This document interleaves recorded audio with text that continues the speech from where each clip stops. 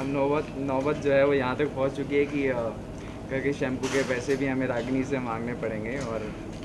हमें अगर शॉपिंग करनी है तो भी रागनी से पैसे मांगने पड़ेंगे घर के पैसे जितना हमारा स्टाफ है उसकी सैलरीज भी हमें रागनी से पैसे मांगनी पड़ेगी तो नौबत यहाँ तक पहुँच चुकी है कि जितने भी तिजोरी के सारे पैसे हैं वो सारे रागनी के पास होते हैं कैश अब सारे जितने भी हम लोगों की पॉकेट के पैसे भी सब रागनी के पास अगर मुझे कहीं बाहर जाना है तो आई थिंक पेट्रोल के पैसे भी मुझे रागनी से मांगने पड़ेंगे बस हाँ लक्ष्य अभी भी टिका हुआ है अपने कैरेक्टर पर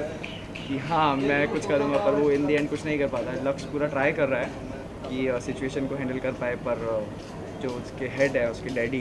दुर्गा प्रसाद अब उन्होंने बोल दिया कि नहीं तो लक्ष्य कुछ नहीं कर सकता है तो अगर मैं ऐसा कुछ करूँगा तो मेरे कैरेक्टर के खिलाफ जाएगा तो फिर भी आई एम ट्राइंग यहाँ कि मैं कहीं से तो इज्जत बचा लो अपनी